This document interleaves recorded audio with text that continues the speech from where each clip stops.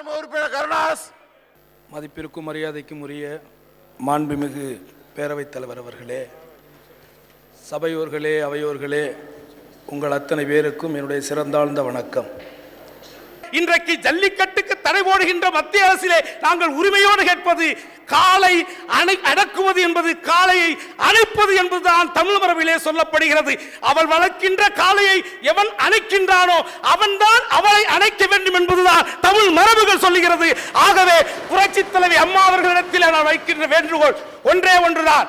நிச்சயமாக நீங்கள் எப்பாடுபட்டாலும் அது தமிழர்களுடைய கனவு தமிழர்களுடைய கலாச்சாரம் தமிழர்களுடைய பண்பாடு அந்த ஜல்லிக்கட்டு மீண்டும் தமிழகத்தில் வருவதற்கு நிச்சயமாக உங்களால் மட்டும்தான் முடியும் என்பதை நான் ஆணித்தரமாக சொல்லி அந்த தொகுதியில் இருக்கக்கூடிய ஆர் எஸ் மங்கலத்தில் இருக்கக்கூடிய கம்மாய் ஏசியாவிலேயே இரண்டாவது மிகப்பெரிய கம்மாய் அந்த கம்மாய் தூர்வாரப்பட வேண்டும்.